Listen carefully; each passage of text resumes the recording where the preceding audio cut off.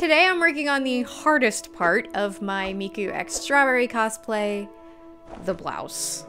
And also the sleeves, and also the socks. Socks are not going to be that hard, but the sleeves and the blouse are pretty hard.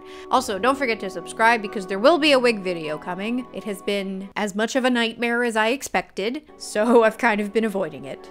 Speaking of, so I've been avoiding this shirt because it scares me. This kind of thing requires a lot of precision and precision is not my strong suit. I've also never done a full button placket, and I just proved in the last video that I can't do a clean ruffle to save my life. And this is the center of the costume, so if it looks bad, it's gonna be really obvious. But I'm gonna try my best. I've already done a mock-up just to make sure the pattern fit. It did, so now I have all my pieces cut out. Here's an overview of the pattern. We have the collar, the center fronts, the side fronts, the side backs, and the back.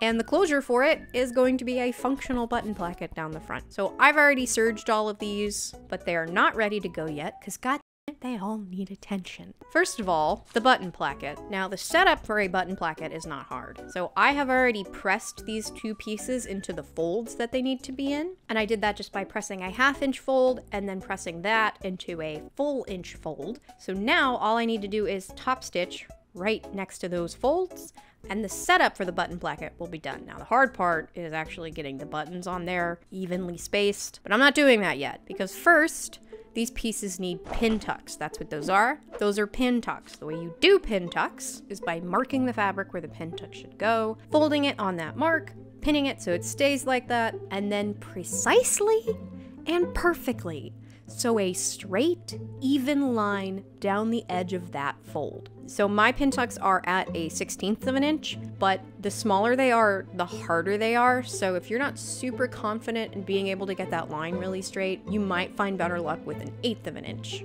But once they're all in there, you just press them flat. And we've got these on both of the front panels and down the back. Also, you do need to add width to your pattern to accommodate for the pin tucks. And I actually didn't do the traditional math method. What I did was put the pattern in Illustrator and then chop the pattern piece up in Illustrator and add width for the pin tucks that way. All right, I finished all 12 pin tucks. Feel like I did a pretty good job on the front. I think they look pretty even, but on the back, they're not so great. They're just a little like wobbly, but the front ones look good. So I'll take solace in that. I'm still not able to put the shirt together yet though, because first we have an inset ruffle to do. Inset meaning that it is going to go in between the seam of the center front and the side front. So what I'm going to do is first make the ruffle. I don't know what it is, but I've been struggling with ruffles lately. But I'm starting this one out right because I actually cut the ruffle with the grain. And if you don't know why that's important, go watch the last video because I did a whole graphic on it. Anyway, this one does need some bias tape on it. The roll of bias tape, by the way, is looking a little better.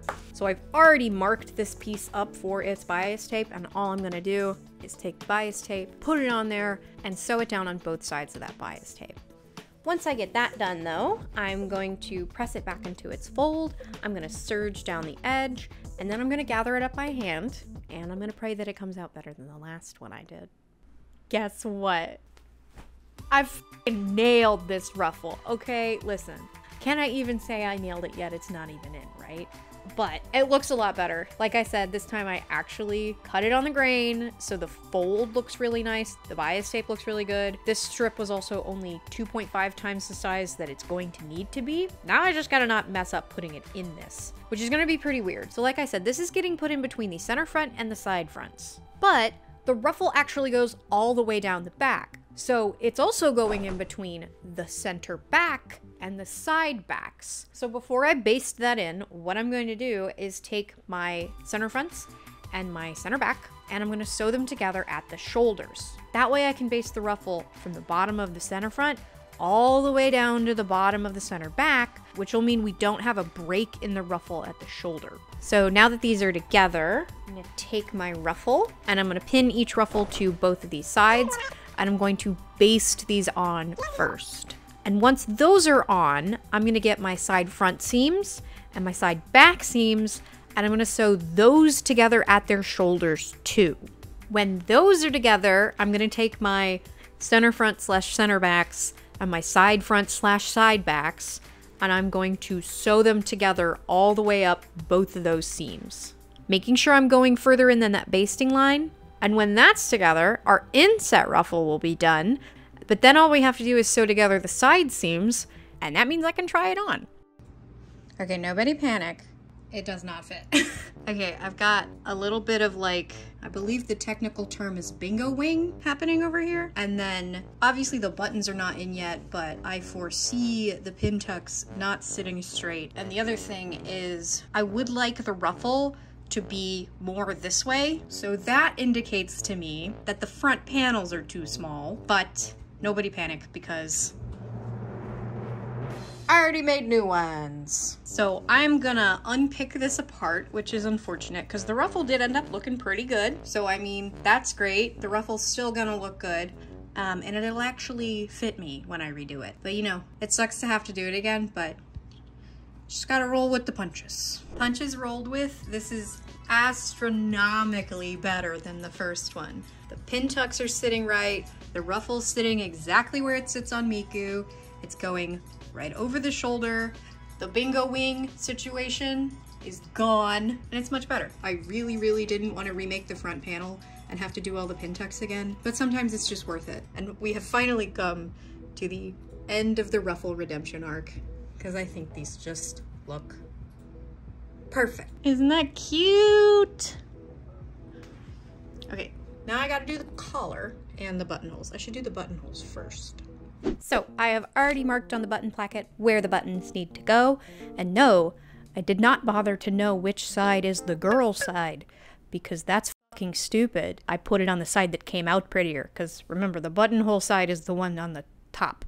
That does matter. Anyway, buttonholes are going to be different for every machine. Uh, both of my machines actually have several one-step buttonholes, but not every machine is going to have a one-step buttonhole. You will know if it does if it comes with a contraption like this. The, let me, where's my other one? That's not so weird. Yours is probably going to look more like this. The Pfaff one actually has you plug it into the machine, which I've literally never seen before, but all I have to do is put this on the machine and hit a button and then make it go.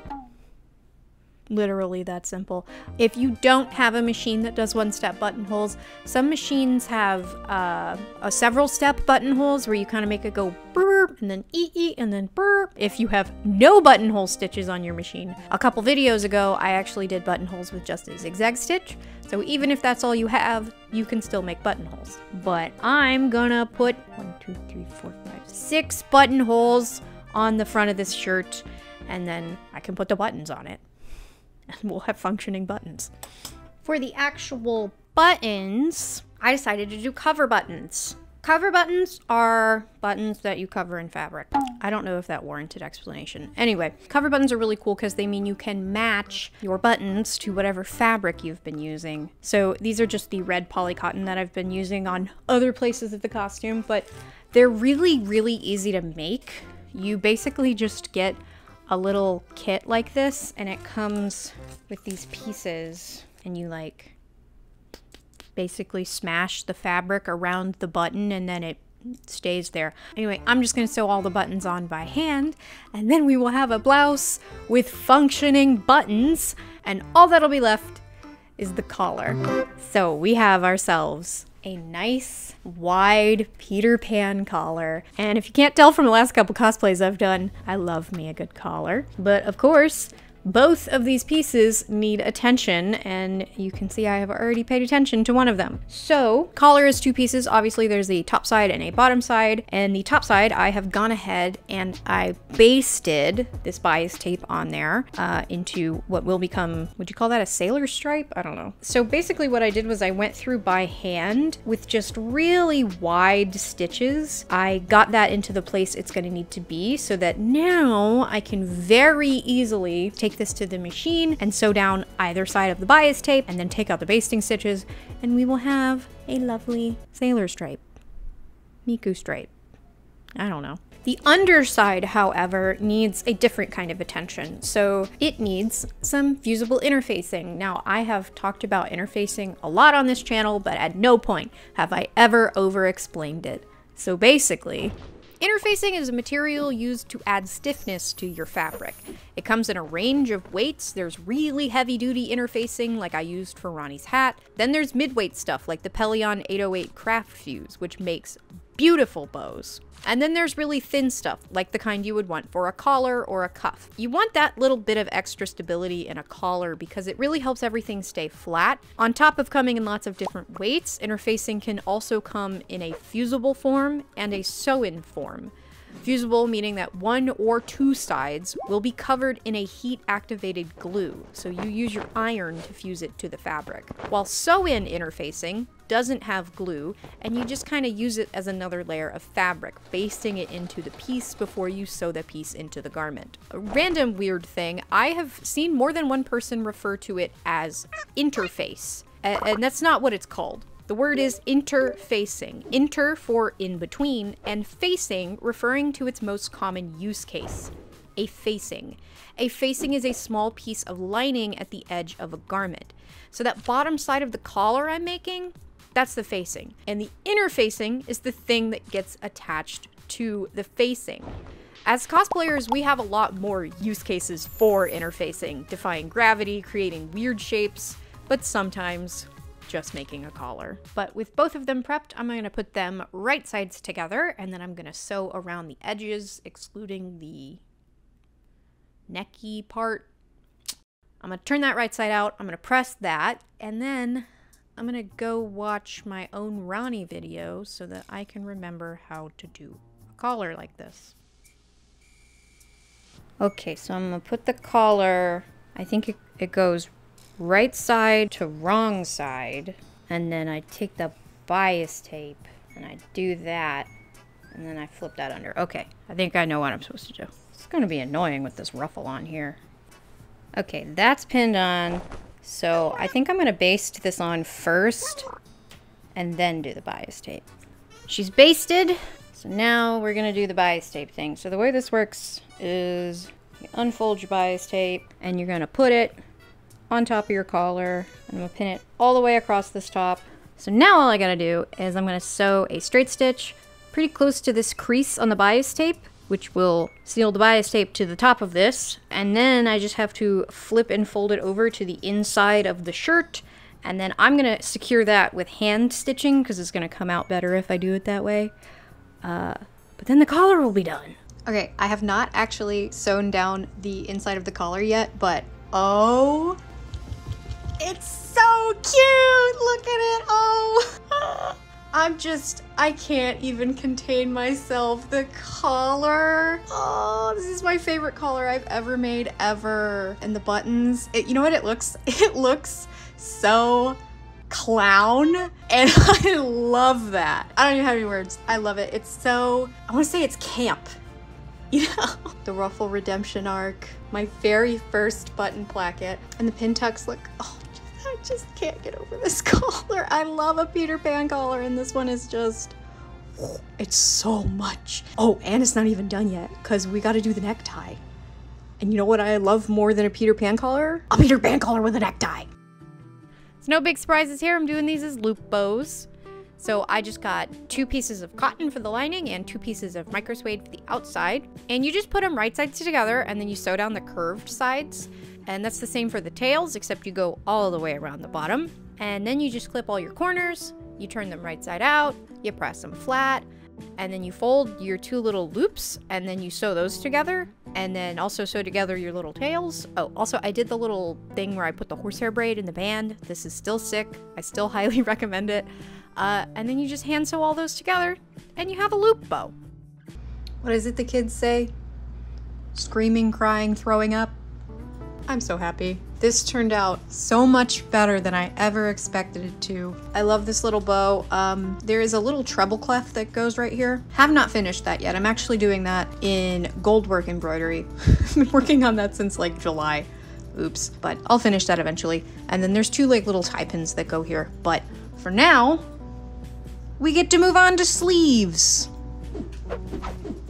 So moving on to the sleeves, I have overcomplicated the hell out of this. These are unattached puff sleeves. Of course it's an unattached sleeve because it's Miku, but they're a puff sleeve with a grid pattern on them. They also have a cuff with a ruffle on it, and then the cuff has buttons, and I am gonna do functional buttons for this, but I can't start that yet, because like I said, I'm overcomplicating the hell out of this, because I decided to interpret that gold grid as pin tucks. There's pin tucks on the blouse. I thought the cohesion would look nice. But that doesn't mean now I need to do a bunch of crisscross pin tucks, uh, which obviously work exactly the same way as the other pin tucks do, except this time I'm doing much larger ones. Unfortunately for me, I also decided to overcomplicate the gold because I'm gonna do the gold in gold bugle beads and pearls. And that's gonna take forever, so I will see you in a couple days for these cuffs. Also, I just want to say, just because I'm doing pin tucks doesn't mean that that's the only way you can do it. You could really interpret that pattern as anything you wanted. But uh, also, something stupid I did was I used heat erase pen to make my marks, which was dumb because it meant that I couldn't press the pin tucks after one side was done. And for crisscross pin tucks like this, it's going to be much easier and come out a lot nicer if you do one direction of pin tucks first, press all of those flat, and then go back for the other one. But because I have the heat erase pen, I couldn't do that. So I just made sure everything was pinned really well and really flat before I did the other direction. And once I had them all in there, I gave them a good press. And the pressing is honestly the best part because you just get to see all your hard work come to life and be flat Anyway, then I got to beading. Uh, beading in straight lines is actually really easy. If you watched the Strawberry Dress video, you already know that when you bead in straight lines, you go out of the fabric, into several beads, back into the fabric, back up through the middle, and then through the beads again so that the thread is going straight, to which you then put more beads on. But bugle beads especially, you really only want to go two at a time, especially since this is a curved surface being a sleeve. So these are up through two of them, back down, through the fabric in between them, and then out again, and then you do it over and over again for 12 hours. And for the pearls, I did them like individually before going through all four of them together to keep them in that little clover shape. But that's the beading.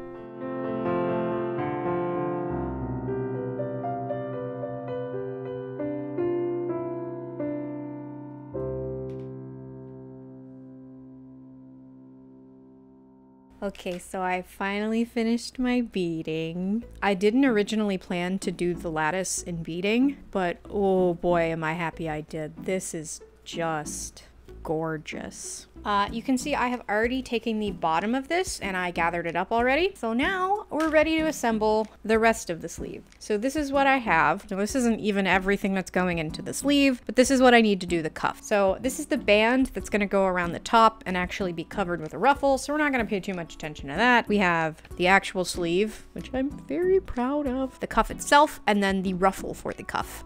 So I don't know why I decided to do this as a circle, but I did. Uh, doing it as a circle essentially just makes it harder, but I, that's what I'm going with. To start this cuff, I need to take my actual cuff pieces, and I'm going to take one of them, and I'm going to press the edges of it down a half inch on both sides of it. You'll see why I did that later, but all you need to know for now is that the one I'm gonna press is gonna be the one that's inside of the cuff. Once I have this one pressed, I'm gonna sew it together on the short sides, and then we're gonna add our ruffle. So I have two circle pieces cut out here, put right sides together.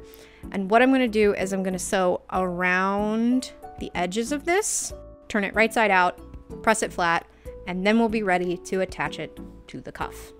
To do that, what I'm going to do is I'm going to take the inside piece of the cuff, I'm going to hold it out of the way, and I'm going to sew our ruffle cuff onto the outside cuff, right sides together. Uh, you might also notice I cut tiny little notches into the circle, and that's because it helps the circle ease itself onto that flat edge. So once that's together, I can take my inside piece that's already folded over, I can take that folded edge and hand sew that onto the ruffle, securing the raw edges of the ruffle inside the cuff, and then I gotta do buttonholes again, which I already explained, so Now there's two buttonholes.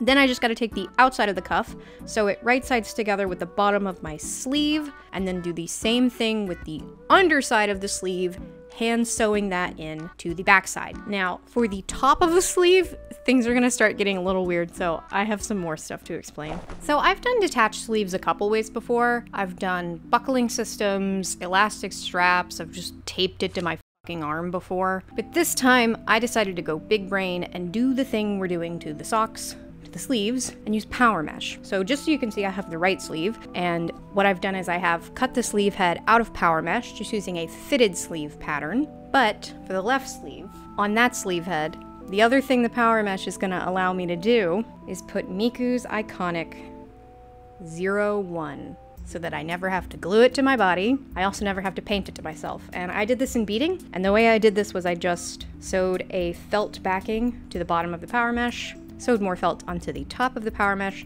and then I just beaded it. And I'm actually really happy with how this came out. I think it is so cute and so much better than having to paint myself every time I wear this cosplay, especially since it's white. Anyway, so now what's gonna happen is you can see on the left sleeve here, the band is already attached. So what I'm gonna do is sew the power mesh right sides together with that band. And I am gonna use a stretch stitch with that too. Even though we're doing a stretch fabric onto a non-stretch fabric, we're still gonna need a stretch stitch. Before I can sew up the sides of the sleeves, I do still need to make the bicep ruffles.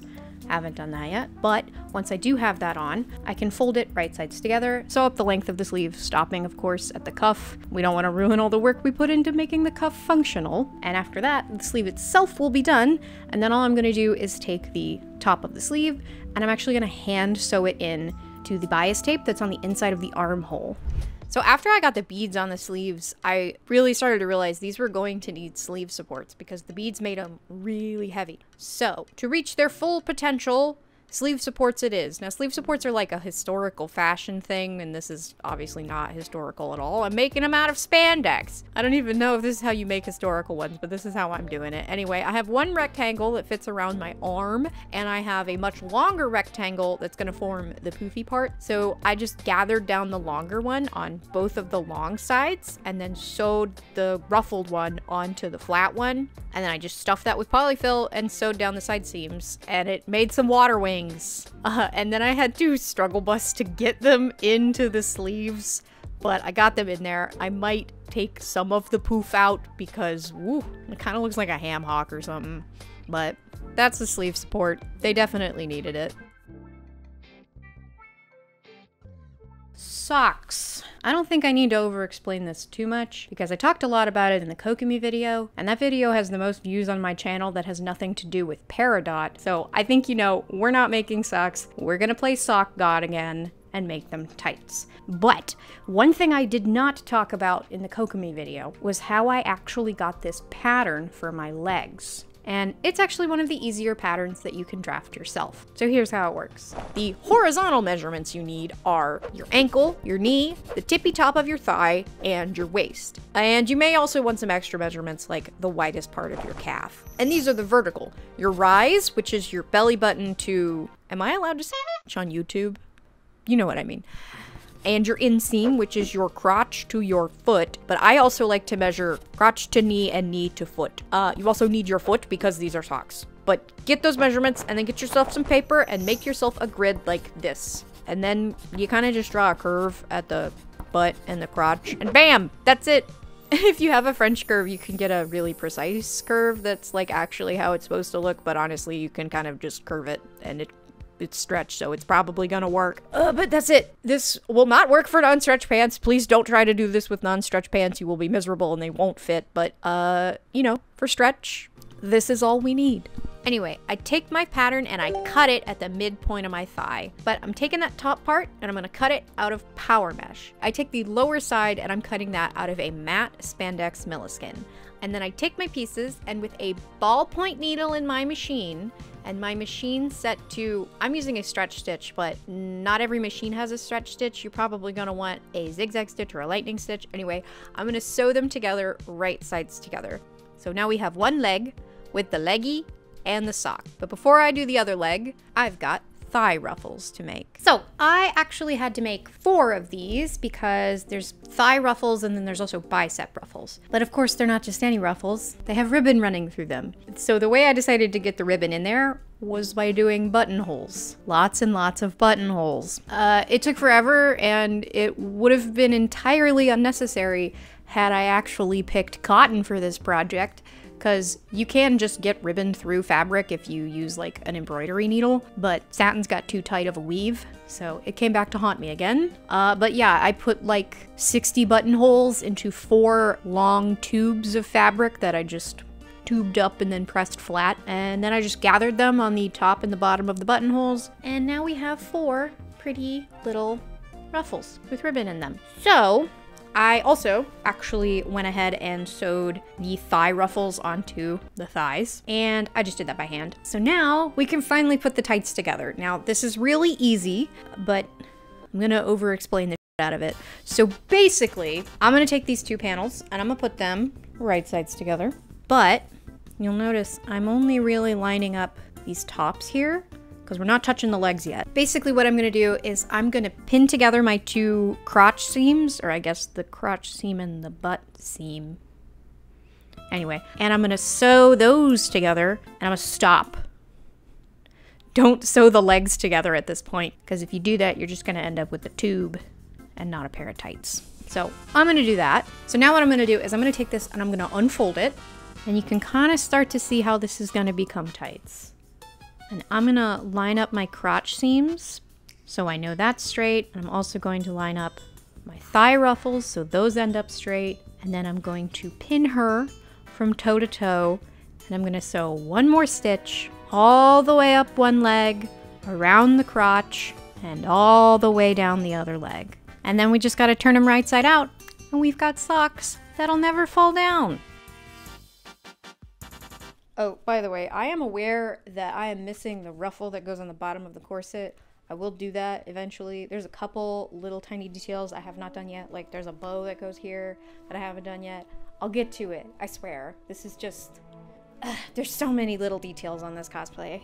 There, it's just taking forever to get all of them. I really like the blouse. I really like the sleeves. I absolutely can't get over the zero one. I think it is probably the best part of the costume. Uh, but yeah, I hope this proves to some people that even if you're a messy sewist like me, you can still do stuff that requires precision if you just take your time and you measure everything and you're willing to remake stuff. It can come out nice and clean. And like, not to be sappy, but I think a lot of people could probably relate to this. Like, when I look at cosplays I've made, it takes me back to what my life was like when I was making that cosplay. And this cosplay is always going to be pretty bittersweet because I had only just started making it when my grandma passed away. So, this will always be the first cosplay I ever made with the help of her machine. And it it kind of feels like she like made it with me, you know? And she loved music, so she she really would have loved this one. But she she would have been so judgmental about there not being measures on the skirt.